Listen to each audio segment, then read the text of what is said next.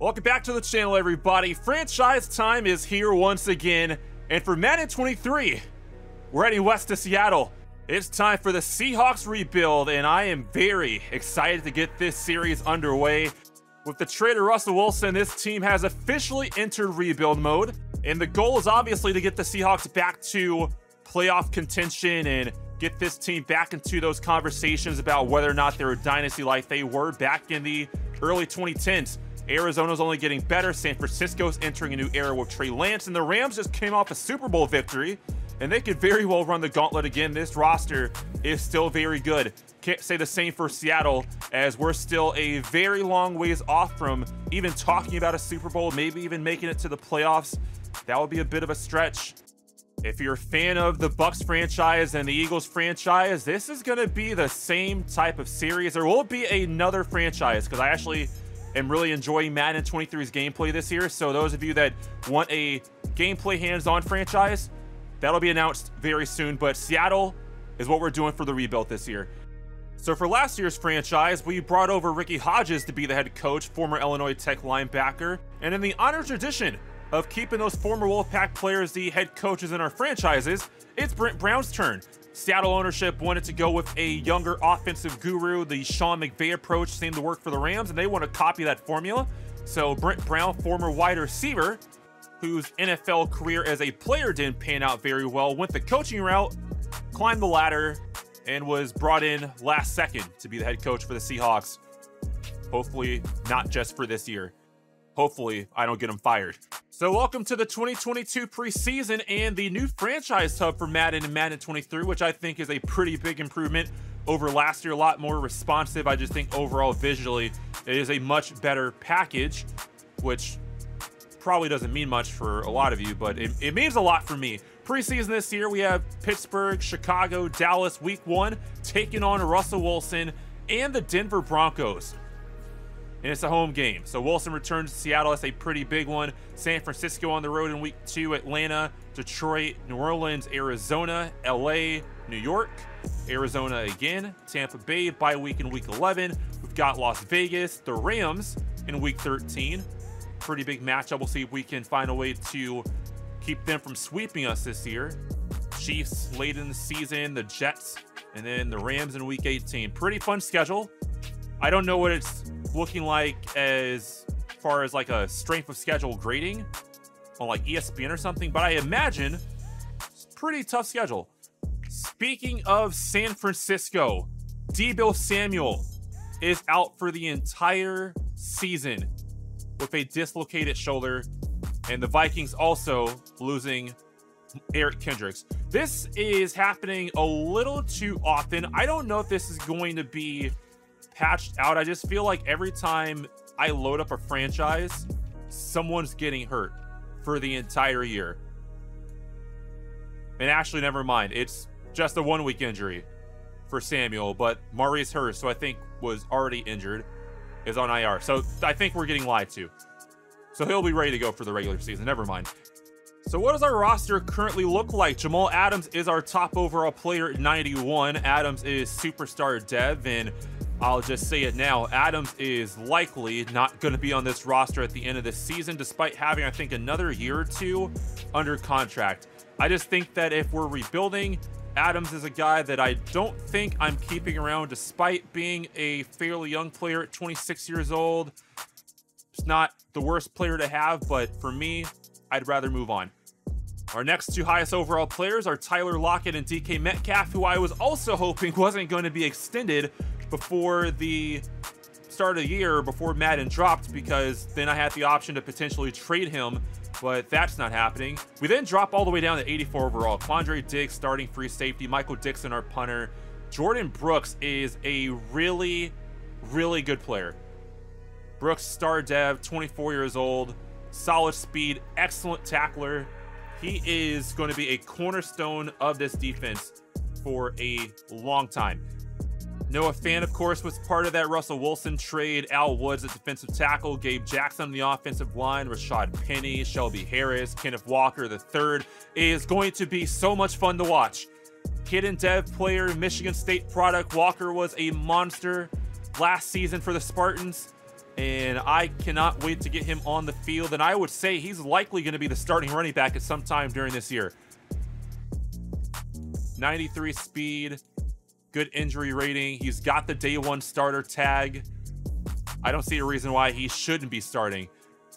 And of course, he likes that no income tax, which Washington has. I can't wait to bring in players that want that no income tax because, hey, we've got that. Sidney Jones is our top corner. We've got Justin Coleman on the other side. Will Dissly at tight end. Trade target Young. Maybe he gets traded. Darrell Taylor, Charles Cross starting left tackle, the rookie out of Mississippi State. We've also got Jason Myers at kicker. Let's take a look at quarterback. This is going to be a really big focus point for us. Drew Lock is the starter. Another player part of that Russell Wilson trade. Lock entering year four. He's going to be looking for a new contract. And at 66 overall with 89 throw power, it's like below average throwing accuracy, awareness isn't great. He's not really going to be that down the field elite passer that we may be looking for with players like Tyler Lockett and DK Metcalf. And if we don't like how things are going with Drew Lock, we do have Geno Smith as the backup, close in overall. If Lock is not playing well, I don't think Geno Smith's going to give us much of a boost. Their overall is around the same, their attributes are around the same. It's probably going to be a rough first year at quarterback and maybe a potential rough second year if we don't address it the way that we probably need to, Jacob Eason is the third stringer, 60 overall. Not a lot of options here.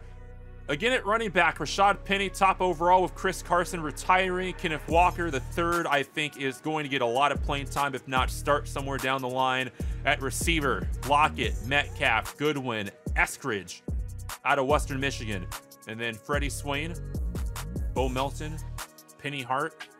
Don't know much of these guys or much about these guys tight end, Noah Fant. We've got some weapons at receiver and at tight end. The big question is his offensive line with Charles Cross, the rookie uh, out of Mississippi State. Star Dev, nice to see. Strength rating, not the best. Pass blocking is pretty good. Run blocking does need work. We'll see if we can actually get these upgrades to go our way because if you remember last year, it was very hard to upgrade pass and run block. We would get the minor ratings for power and finesse, but the other ones did not go as well.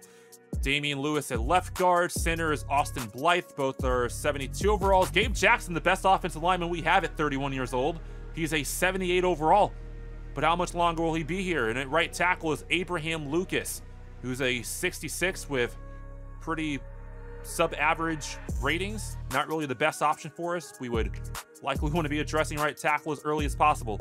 Our defense also has a lot of players. Shelby Harris tagged as a bridge player at 31 years old at 77 overall. He could be here for another year or two. Poona Ford, no tag for him, but he's in the same situation, I would think. Defensive tackle, Al Woods, bridge player, plus the mentor role. So Al Woods, if we go to his motivations and tags, he also gives a weekly training XP boost for other players at their position. So maybe addressing defensive tackle is something we want to do as soon as possible. Not even trying to pronounce this name. Nwosu, I think is how that's pronounced, but correct me if I'm wrong. Jordyn Brooks, of course, we've already talked about. We're playing a 4-3 defense, so we're only going to see three linebackers and four defensive linemen. Darrell Taylor on the outside as well, and then our corner situation. This could be better. I was hoping that Coby Bryant would have a better overall starting out, but I don't think this 68 overall is going to scare me from having him on the field a lot more often. 88 speed, 75 zone coverage. I think he's got a lot of upside, and he should be playing a lot this first year, even if the overall is not great. I could see him maybe starting the slot, maybe being at number four corner. And then the situation at safety, Quandre Diggs, 29 years old, 84 overall. We've got Marquise Blair, entering year four, 73 overall. I don't know what I'm doing at safety quite yet because Jamal Adams could be traded. Likely will be traded. Work in progress. Kicker, Jason Myers, 31 years old. Michael Dickson's 26. He'll be here for a long time with that big time leg. 95 power, 93 accuracy. We might be punting a lot this year anyway. And let's not forget about those draft picks this year. We have two first rounders, we have two second rounders, one coming from Denver each round. We have a third, a fourth, two fifths, another coming from Pittsburgh, and then a sixth round pick. We got a lot of draft capital excluding Jamal Adams being traded potential. I keep talking about that. It's likely not going to happen.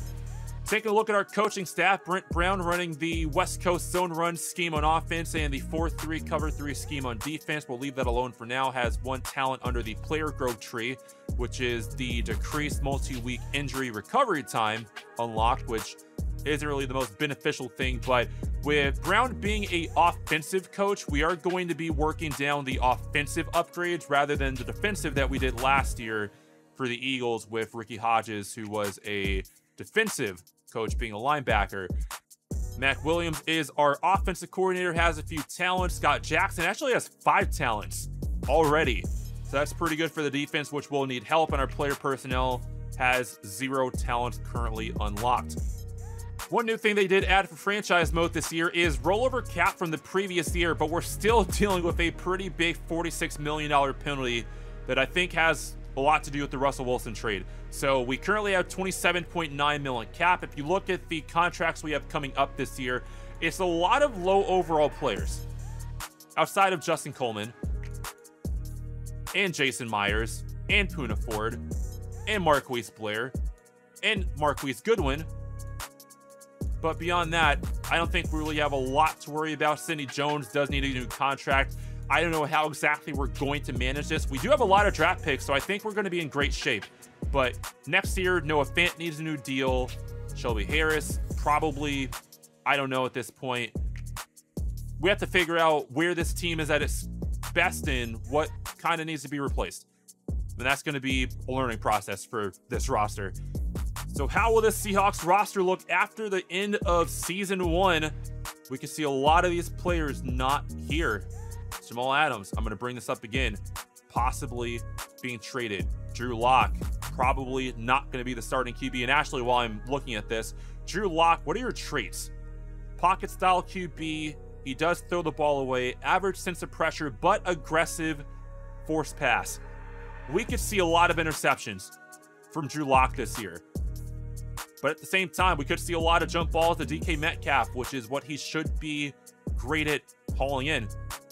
But that, everybody, is going to do it for this intro episode of the Seahawks franchise. I can't wait to get this one going. I'm kind of waiting to see if we're going to get a patch or if we're waiting for a patch for franchise mode. I think we should be fine to get this going, but I'm not sure what bugs are already existing. I've done some long-term sims. I like where the stats are, so I don't think we're going to have a lot of issues in this series with stats. Just feels good to be able to start this stuff near day one and I have to wait for an update or a patch. But I'll see you guys next time. Thanks for watching. Have a great day.